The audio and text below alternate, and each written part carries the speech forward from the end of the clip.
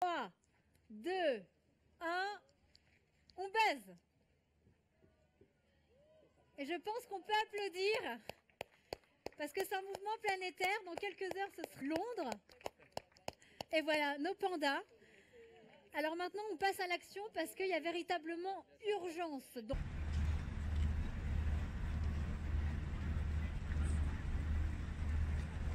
se battre pour que l'année prochaine, en 2020, euh, on ait un accord euh, sur la biodiversité.